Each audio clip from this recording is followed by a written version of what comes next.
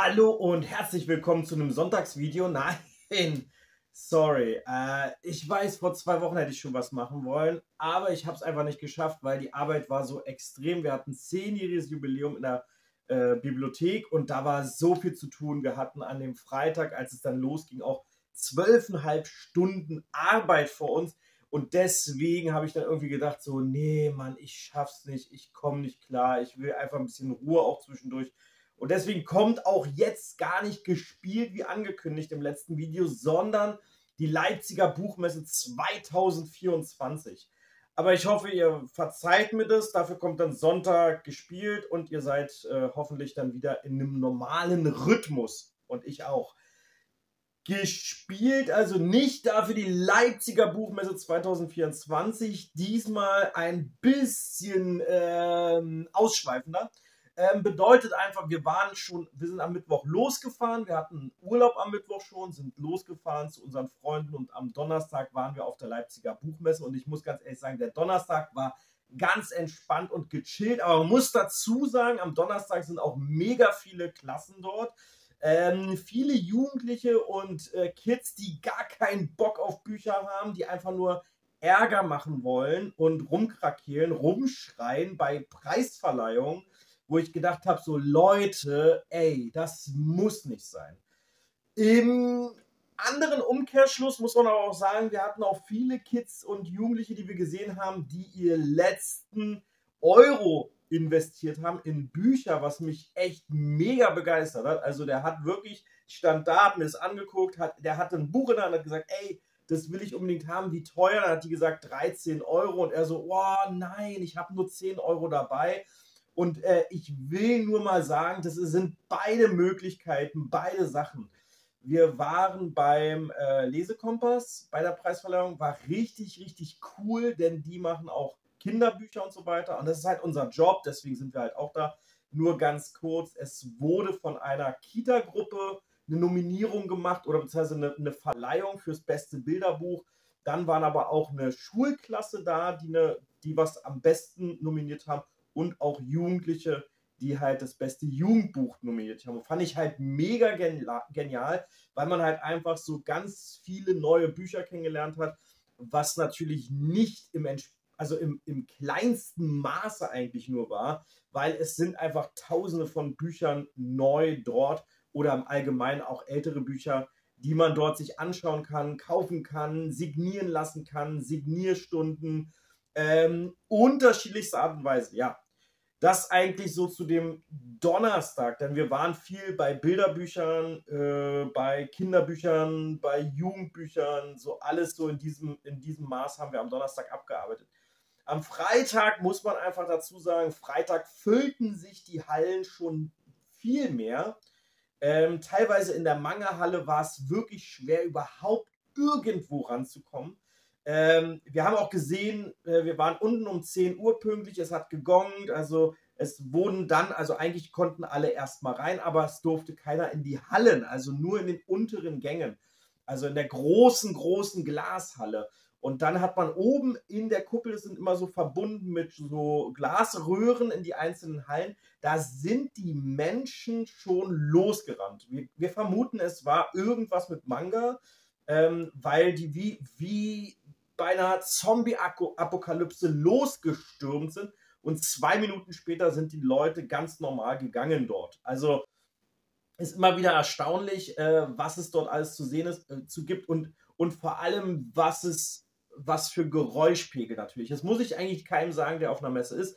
Der weiß einfach, der Geräuschpegel ist so ein Summen von Bienenschwarm und das den ganzen Tag. Klar kann man mal rausgehen, mal frische Luft schnappen, das ist auch super. Wobei der Freitag schon echt kühl war und auch geregnet hat teilweise, dass man irgendwie gedacht hat, so ja, nee, gut, dann bleibe ich einfach in der Halle. Es ist echt nicht schön draußen. Aber trotzdem haben wir da natürlich einiges gesehen.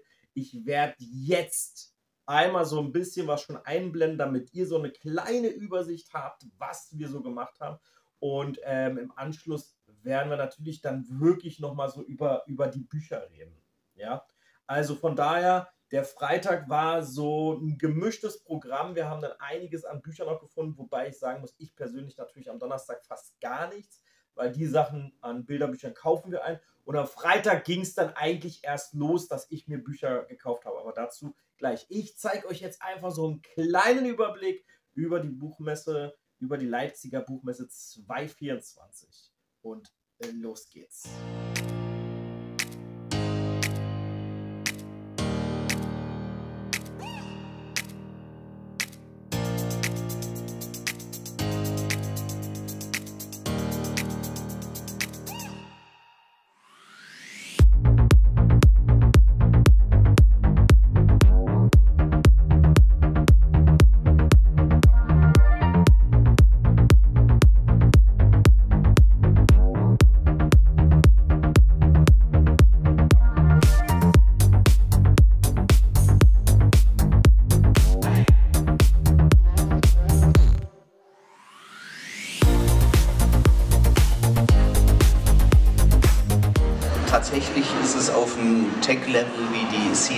Hanley. Das ist das erste U-Boot, das ein Kriegsschiff versenkt hat im amerikanischen Bürgerkrieg und ähm, sich dabei auch gleich selbst mit versenkt hat. Man hat 140 Jahre gebraucht, dieses U-Boot wiederzufinden. Die Besatzung war aber auch da noch vollständig anwesend, als man es wiedergefunden hat. Und ähm, ja, die äh, Zwerge fahren auf einem ähnlichen Tech-Level U-Boot und haben ganz ähnliche Probleme. Und da steigen wir jetzt ein. Äh, die ersten Worte im Buch sind das Ende. das hat mich schon gecatcht. Es war nun an ihm zu entscheiden, auf welche Art sie sterben würden. Zwiet ließ sich gegen die gut gepolsterte Lehne des Kapitänssessels sinken und legte die Hände auf die Steuerknüppel rechts und links des komfortablen Sitzes, der dazu geschaffen war, dass man endlose Stunden in ihm verbrachte und schwere Entscheidungen traf. Die Bolzenspucker leckte wie ein Sieb. Ganz gleich, wie sehr sie sich anstrengten, sie würden den Untergang des Tauchboots allenfalls hinauszögern können. Er lauschte auf das dumpfe Hämmern, Grumgi trieb, wo die Bolzen fehlten, Korkenstücke in die wasserspeienden Löcher. Es waren zu viele dieser Lecks.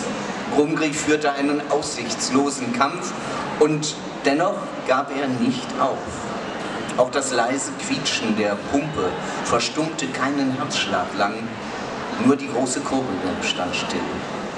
Die Mannschaft wartete auf Sweets Befehle. Sollten sie ausboten? Er könnte die Bolzenspucker bis auf zehn Schritt ans Ufer heranbringen, bevor es sie auf Grund lief. Vielleicht sogar noch ein kleines bisschen näher. Aber sie würden auf jeden Fall ein Stück durch das eisige Wasser waten müssen, und völlig durchnässt das unwirtliche Ufer erreichen. Er hatte dort nur Schnee und Felsen gesehen, kein Holz, um ein Feuer zu Atomenergie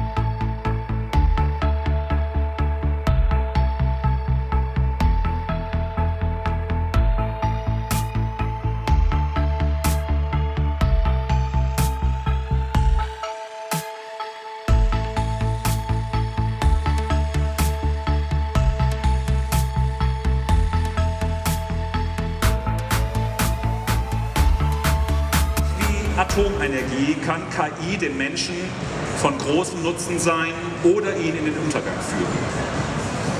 Wird die KI Arbeitsplätze fordern? Ja. Wird die KI Arbeitsplätze schaffen? Ja. Ist, die, ist das die einzige Frage, die wir uns stellen müssen? Nein, keineswegs. Die Frage lautet eigentlich, wie muss sich unsere Gesellschaft entwickeln, um in Zukunft unsere viele freie Zeit eher tragen zu können? Ich stelle diese Frage jedem Einzelnen von euch, vor allem aber den vielen kreativen Fantastikautorinnen da draußen oder hier im Saal. Das ist der Stoff, aus dem gute Geschichten geboren werden. KI stellt nicht weniger als einen Paradigmenwechsel in unserer Welt dar. Und eines ist jetzt schon klar, Paradigmenwechsel kann man nicht ignorieren. Man muss lernen, mit ihnen umzugehen und sie in das bestehende gesellschaftliche und kulturelle System einzubinden. KI ist bereits jetzt Teil unseres Lebens, ebenso wie der Klimawandel. Wir müssen nicht darüber nachdenken, wie wir sie verhindern. Wir müssen lernen, wie wir mit ihnen leben können und wollen. Dazu müssen wir sehr genau zuhören und hinsehen.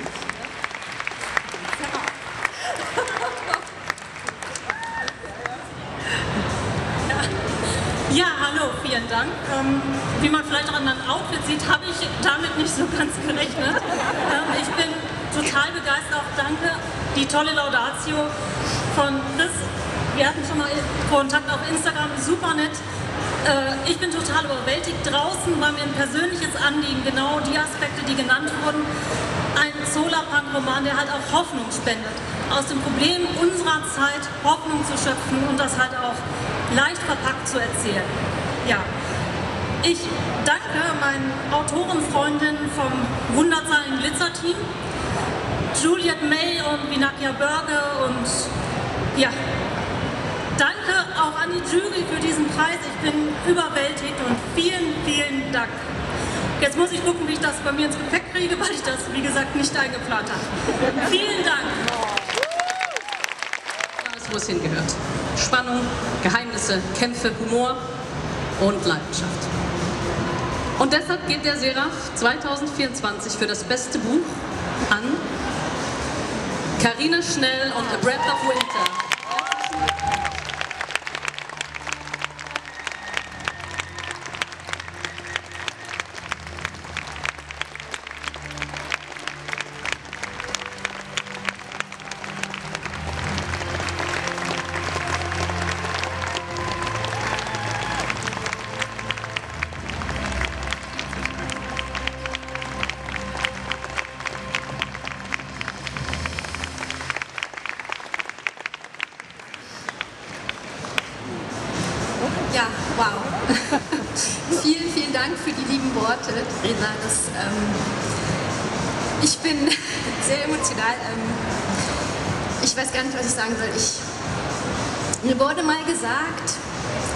So emotional sein, weil als junge Frau wird man dann noch weniger ernst genommen als sowieso schon.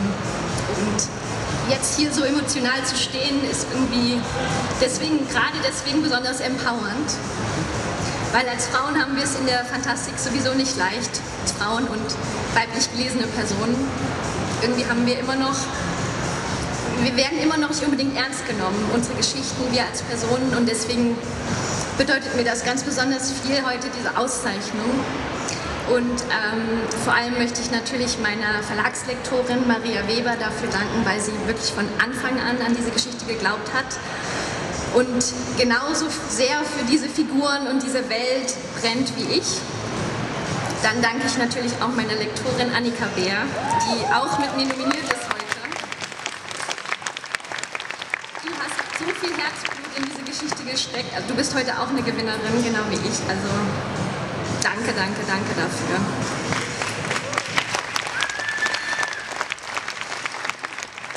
und überhaupt meinen äh, Autoren, Freundinnen, ähm, vor allem denen, die auch hier heute nominiert waren, danke fürs Daumendrücken und gegenseitig freuen und einfach fürs Unterstützen in dieser Bubble. Das, gerade in der Fantastik-Bubble, das ist wunder wunderschön. Deswegen vielen, vielen Dank dafür.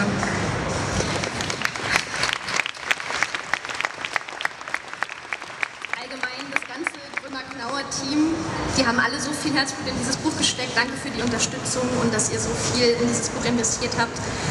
Ich danke natürlich auch meiner Familie. Meine Eltern sind heute hier. Vielen Dank, meine Eltern.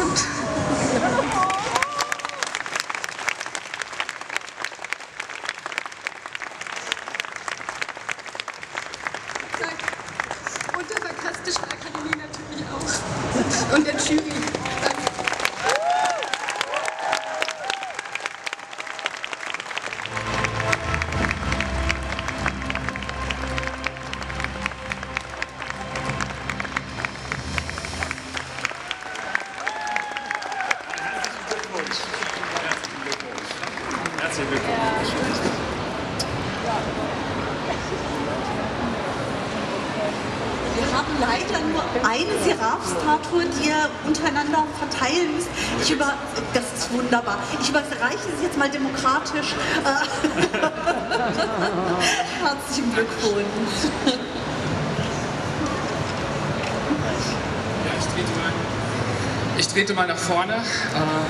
Lucia, wo ist sie denn hin? Das war, ich weiß jetzt gar nicht, ich kann da gar nicht so gut dran anknüpfen, denn all das, was sie gerade gesagt hat, spiegelt in gewisser Weise so gut wider, welche Ideen und Gedanken uns umgetrieben haben, als wir die Planung an diesem Buch begonnen haben. Und äh, Natürlich möchte ich auch all den Menschen danken, die dieses Buch überhaupt erst möglich gemacht haben. Natürlich unsere Lektoren bei Ars Edition, Dido, Nate, Katharina und auch das ganze weitere Team von Ars Edition, das uns bei Marketing und Co. unterstützt hat. Wo ich mich aber ganz besonders bedanken muss, ist bei Elif selbst, denn ein Buch wie dieses wäre nicht möglich, wenn man einfach nur Text hätte. Es war unser Anliegen wirklich, die Idee eines illustrierten Romanes noch ein ganzes Stück weiter zu denken und wirklich eine Art gefühltes Zeitzeugnis zu schaffen. Etwas, eine Geschichte, in die man eintauchen kann, wo man auch für die Nerds dein ein oder andere Easter Egg in den Bildern entdecken kann. Und das war natürlich nur möglich, weil du mit an Bord gekommen bist und wir das ebenbürtig zusammen umsetzen konnten und wirklich hier nicht, wie das leider ja doch sehr häufig ist, der Illustrator, die Illustratorin hinter dem Autor ein Stück weit zurücksteht, sondern wir hier wirklich Hand in Hand auf Augenhöhe arbeiten konnten. Und nur deswegen ist dieses Buch wirklich so geworden, wie es letzten Endes ja, jetzt wirklich geworden ist.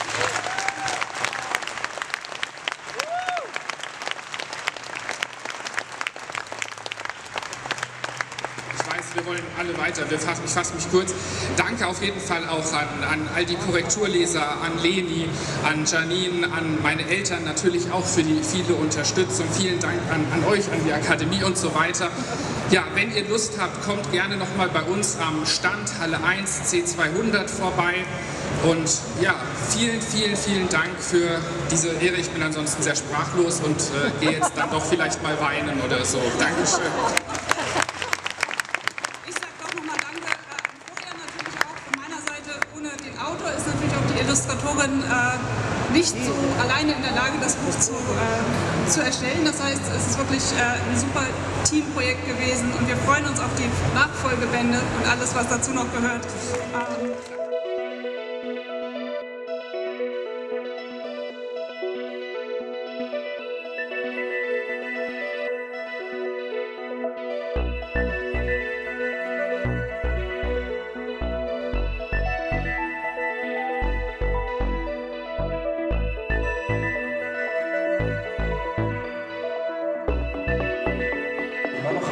Vorsprung? Ja, der Vorsprung beträgt genau erwartet. Unterbrach er die KI und spürte, wie sich ein Klops in seiner Kehle festsetzte und immer weiter wuchs, bis er kaum noch Luft bekam. Wie viel Zeit ist vergangen, seit wir den Erdorbit verlassen haben? Es sind genau... Äh, warte. Unterbrach er sie so gut überstanden? Irgendwelche Vorfälle?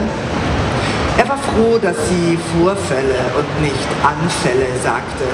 Seit er 13 gewesen war, hatte Sonja für ihn so etwas wie einen Rettungsanker dargestellt in einer Welt, die ihn ständig erschreckte, die ihm Dinge vorgaukelte, die andere nicht sahen, weil sie schlicht und einfach nicht da waren. So, das waren die Eindrücke von 224. Aber natürlich wollt ihr jetzt wissen, was gab es denn?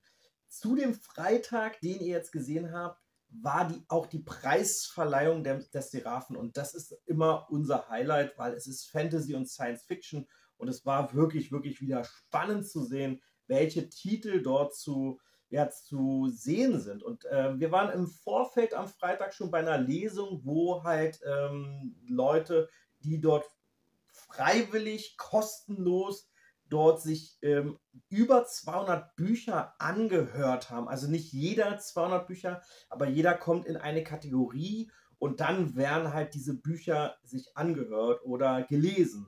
Wobei in der Auswahl sind es dann so 13 Bücher für das beste Buch gewesen und dafür haben die Leute dann sechs Wochen Zeit. Jetzt überlegt euch mal, 13 Bücher in sechs Wochen sind natürlich nicht alles 400 Seiten Bücher, aber manchmal schon. Und die bekommen aber auch ähm, was auf die Ohren. Also die konnten dann wirklich sich das während der Autofahrt dann anhören oder während der Bahnfahrt und dann aber auch mal ein Buch lesen und dann mussten sie halt rausfinden, was sind die besten Bücher. Und in der Jury waren dann aber sieben Leute und daraus wird dann halt der Querschnitt genommen oder geguckt, was sind die besten Bücher und dann wird nochmal ja, darüber diskutiert und so weiter. Also ich fand es sehr, sehr interessant und sehr, sehr cool, weil da kommen halt wirklich Indie-Autoren, aber nicht nur, ja, also da kommen halt auch gestandene Autoren, die schon viele Bücher rausgebracht haben, aber trotzdem auch Indie-Autoren und diese ganzen Sachen, die dann da auftauchen, das wird dann halt nochmal prämiert und das finde ich halt mega spannend und mega cool. Der Seraph ist auch so eine Statue und äh, das ist alles äh, so eine Art Verein im Grunde, die das kostenlos oder für die Leute dort, für die besten Autoren für Fantasy und Science Fiction machen. Und diese Bühne war halt auch rappeldicke voll. Und es war einfach ein schönes Gefühl, auch zu hören, so, wow, ich bin gar nicht vorbereitet darauf. Und es war wirklich so, weil da war ja jemand mit Elfenohren, die hat gewonnen und man dachte sich so, äh, du bist äh, im richtigen Setting, aber irgendwie doch falsch hier. Ja, und zu dem Ganzen waren auch 34% der Besucher verkleidet. Stellt euch das mal vor, 34% Fand ich auch wieder so eine richtig krasse äh, Nummer. Ja, ob man das alles sehen wollte oder nicht, sei dahingestellt. Geniale Kostüme, manchmal auch wirklich abgefahren oder total verstörende Sachen, manchmal, die man gesehen hat. Aber hey, jedem äh, das seine. Ich fand es auf jeden Fall cool macht halt diese Manga-Messe mit der, mit der Buchmesse zusammen, macht halt ein ganz anderes Feeling als bei anderen Messen. Ja, und äh, dann ging es eigentlich dazu, dass wir dann halt Samstag nur noch von Insel zu Insel gegangen sind und zu Leseinseln und, und dort uns einfach berieseln lassen haben. Dadurch muss ich aber auch sagen, habe ich dann halt viele Bücher, die ich gar nicht so auf dem Plan hatte, dann doch mir nochmal angeschaut und sogar einige gekauft. Und da, das zeige ich euch jetzt. Also, zu dem Seraphen. Hier habt ihr den Seraph stehen, Seraph 2024 und zwar nominiert bester Indie-Titel. Und ich habe hier bei dem ähm, schon 124 Seiten, also die Hälfte des Buchs habe ich schon gelesen.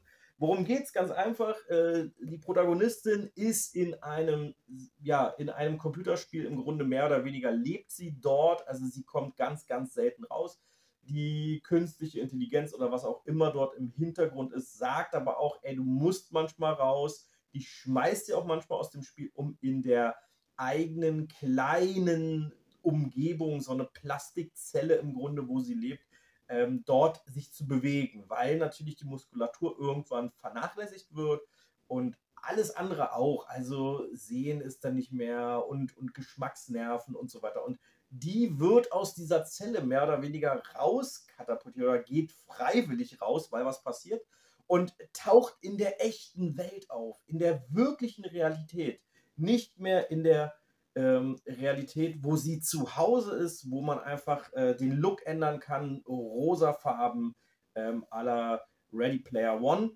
sondern sie hat die Möglichkeit oder sie muss jetzt überleben und muss der Realität ins Auge sehen, dass sie ja wirklich noch nie an der frischen Luft war.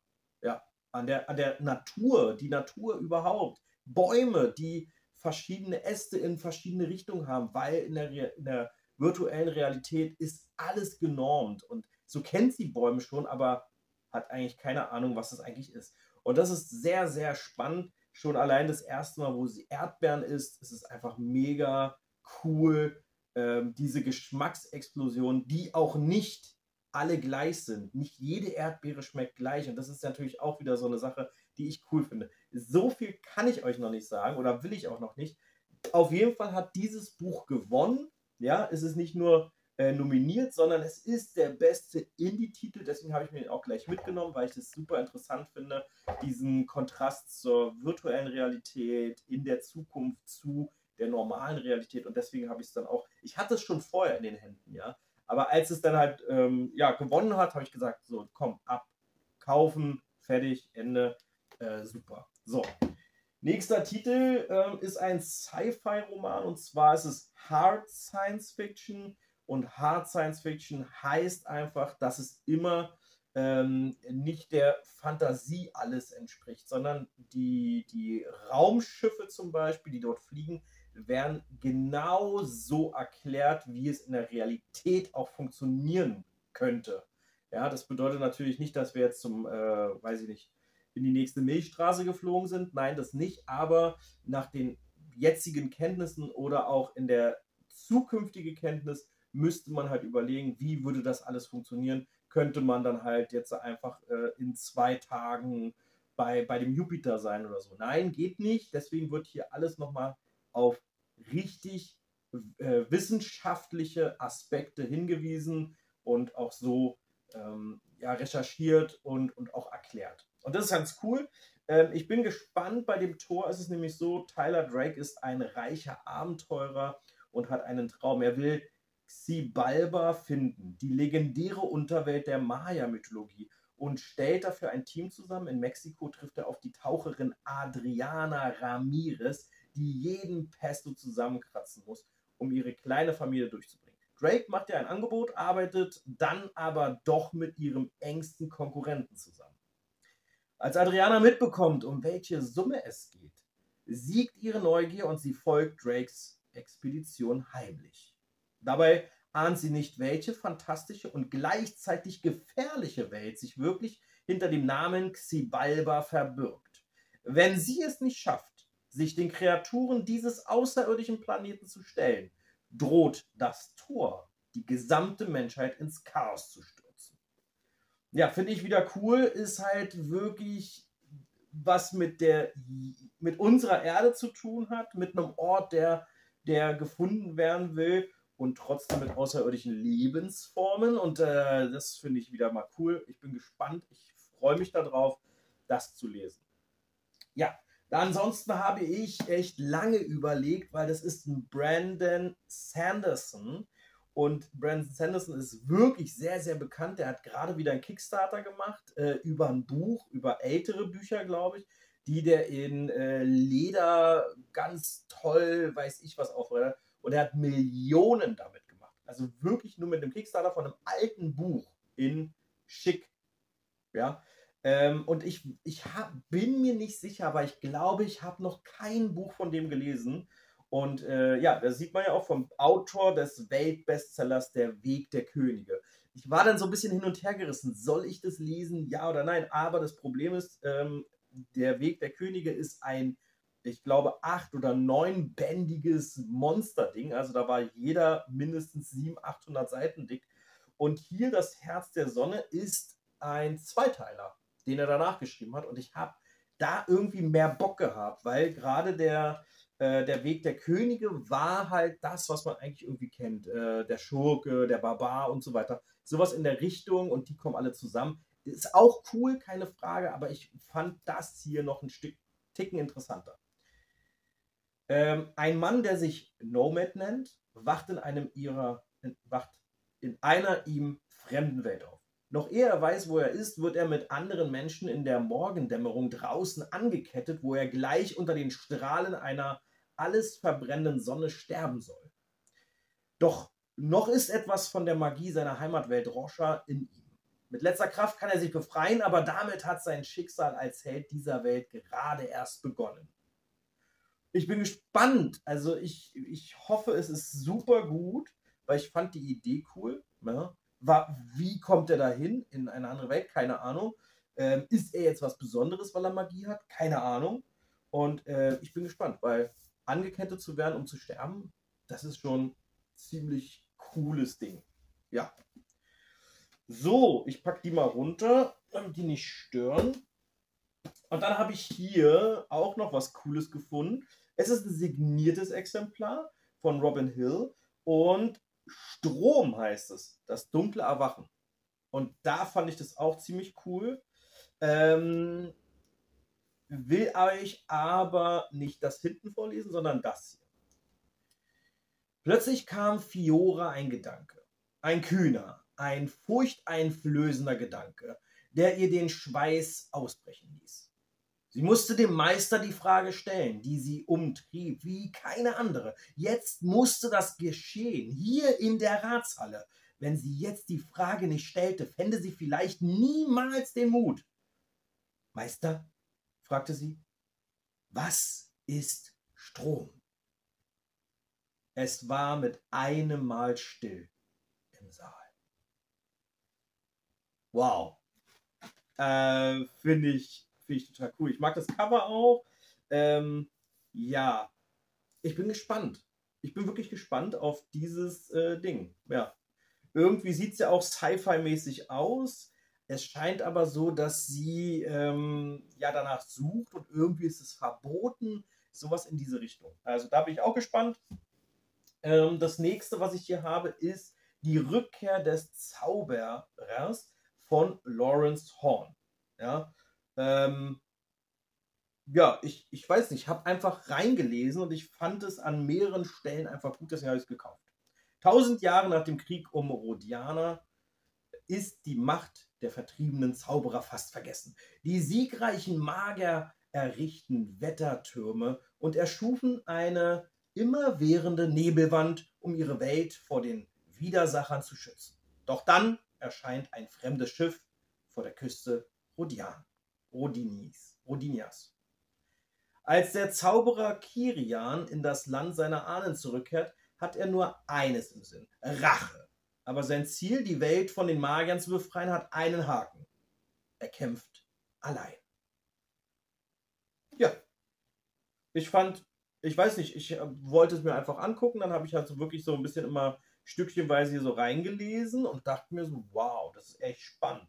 Also von daher wollte ich dem hier eine Chance geben, mal schauen, ähm, wie es so ist. So, dann habe ich von John Scalzi die Gesellschaft zur Erhaltung der Kaiju-Monster. Habe ich mittlerweile auch schon 150 Seiten gelesen.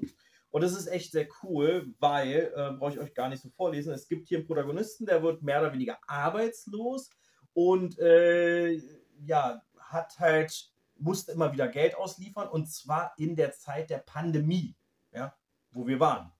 Und äh, hatte nichts Besseres zu tun, weil er war vorher schon was Besseres, aber er hat den Job verloren und jetzt ähm, hat er den aber kennengelernt und der fragt ihn, ey Mann, wenn du jetzt den Job da nicht machen willst, wir haben was und äh, Du musst nur tragen. Und das macht er. er. Er sagt sich, okay, cool, was ist denn meine Bezahlung? Und er sagt ihm die Zahl und er sagt so, wow, äh, ja, klar, mache ich mit. Was er nicht weiß, ist, dass sie eine Art Portal haben und dort sechs Monate ähm, leben. In einem anderen Universum, einem anderen Handlungsstrang, einer anderen Erde, wie auch immer. Auf jeden Fall gibt es dort Kaiju-Monster. Und äh, das ist richtig, richtig gut. John Scalzi hat einen mega coolen Humor, hat, nimmt immer viele Aspekte von, ähm, ja, so, so Herr der Ringe, Harry Potter, solche Sachen spielt er immer mit hier rein. Finde ich richtig, richtig cool. Und vor allem diese Kaiju-Monster, die werden auch nochmal natürlich einen Handlungsstrang da reingezogen von früher. Woher kommt Godzilla? Genau. Denn diese Dimensionsschicht wird immer schmaler und dünner. Und natürlich kann es passieren, dass so ein Kaiju-Monster dann so reinfliegt bei uns auf die Erde und äh, dort Ärger macht. Und das ist auch passiert. Und irgendwie ist es durchgedrungen und irgendein äh, Regisseur hatte die Idee, ey, komm, wir machen so ein Godzilla-Monster. Ja, und das war gar kein Film. So, also, doch, es war ein Film, aber auf einem Original basierend und nicht auf irgendeiner Idee. Sehr, sehr cool, äh, macht unglaublich viel Spaß. Ähm, es ist, muss ich ganz ehrlich sagen, auch nach 150 Seiten noch nicht viel passiert, aber es lässt sich sehr, sehr gut lesen und es ist sehr lustig. Mal gucken, ich glaube, da wird noch einiges passieren, weil das ist die Gesellschaft zur Erhaltung der Kaiju-Monster. Also die bemühen sich darum, wie Greenpeace, die Monster am Leben zu erhalten. Warum auch immer. Wer sollte sie bedrohen? Es sind riesige Godzilla-Monster. Ja, wer Bock darauf hat, Genau. So, was habe ich noch? Natürlich den dritten Teil, der jetzt erst vor ein paar Tagen rausgekommen ist, und zwar Minen der Macht, der Grauzorn. Minen der Macht ist so, dass hier im Grunde ein ganzes, ja, eine ganze Stadt, ja, im Grunde dort unter einer magischen Kuppel leben. Man kann hier nach unten gehen. Ganz unten in dem Bereich ist natürlich so ein bisschen die Slums, die, die Wertlosen, die Nichtsnutze und so weiter. Und hier oben in den Türmen, da wohnen natürlich die Reichen, die Edelleute, die Elfen, die äh, wie auch immer. Elfen weiß ich nicht. Nee, Magier aber. Und äh, der erste Teil, den habe ich schon gelesen, der war richtig, richtig cool, muss ich auch sagen. Vor allem, weil es fünf Leute gemacht haben. Fünf Leute haben es geschrieben. Und hier ist es nun der dritte Band. Äh, ich brauche ich nicht vorlesen. Lest den ersten, dann den zweiten habe ich schon gekauft, den muss ich jetzt lesen. Und dann ist der dritte am Start. Und ich bin schon gespannt, weil der erste, da war ich so ein bisschen skeptisch bei fünf Leuten, die schreiben, geht das? Und ich kann euch sagen, es geht unglaublich gut. Ähm, wenn ihr da mal reinhören wollt in den ersten Band, ich verlinke euch das hier oben. Da könnt ihr reingucken. Da habe ich das, da habe ich nämlich schon eingesprochen, ähm, vorgelesen und da könnt ihr auf jeden Fall nochmal reinschauen, wenn ihr Bock darauf habt, worum es geht und was da so passiert. Es ist sehr, sehr cool. Ja. Mm, dann habe ich mir noch hier Westlands, Westlands von Judith C. Vogt und Christian Vogt gekauft. Fand ich auch eine ganz coole Idee. Sie ist jemand, der ähm, immun ist. Die Menschen sind so größtenteils schon ausgestorben durch einen Virus. Und natürlich stecken sich die restlichen Menschen auch gegenseitig an. Sie ist aber immun dagegen, aber kriegt immer wieder Aufträge, die sie erfüllen muss. Und das macht sie auch, bis sie äh, zu jemandem kommt, dem sie helfen soll. Und der hat ein Baby dabei. Tja, und das könnte natürlich Ärger geben.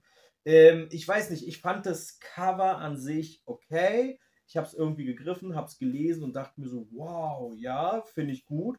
Und wenn man reinliest, ist es schon äh, teilweise eine derbere Sprache, aber das finde ich halt super, weil es ist halt so ein bisschen Mad Max-Style und da finde ich, muss man nicht nett miteinander umgehen, sondern man kann halt hier auch mal so äh, Fäkalien oder sonstige Worte benutzen. Ich glaube, das ist passt zu diesem Genre einfach und das ist cool. Mal schauen, ich bin gespannt. Ich hoffe, dass es richtig, richtig gut ist. Dann habe ich noch einen Comic dabei und zwar Star Wars Darth Vader. Fand ich sehr, sehr cool, weil das Ding einfach auch nur irgendwie 7 Euro gekostet hat. Und da habe ich richtig Lust drauf, äh, den zu lesen. Und das letzte, was ich habe, ist von Das Portal Science Fiction Thriller. Und zwar ist es von Joshua Tree. Und der, da waren wir bei zwei oder drei Lesungen, die immer wieder um KI sich gedreht haben, um Sci-Fi, fand ich sehr, sehr interessant.